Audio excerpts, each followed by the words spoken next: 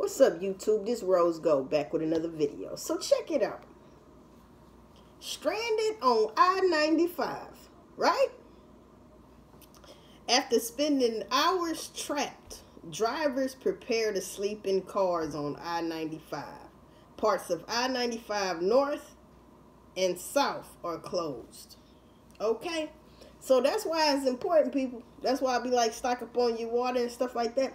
And it's smart. I, I leave uh, water in my car too. I leave at least one in the trunk, and I uh, actually I got two in my back seat, just in case you know of things. You know, basically my thing is to always expect the unexpected. Have stuff in the car and your home.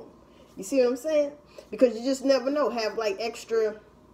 And the way things going now, you know, in, in your trunk, you want to have like some cover and stuff like that. Because these people got to pull over and be uh some people you know got children with them they they you know what i'm saying? They out there man. They got to spend night in the car.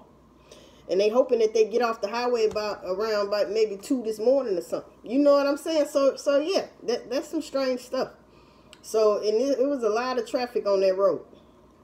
I hope they get it together because that's that's sad. Um that's why it's so important people to uh you know get stuff that you need and whatnot and expect the unexpected because just like this, nobody expected that. And you want to make sure you have gas, especially in the wintertime, anytime.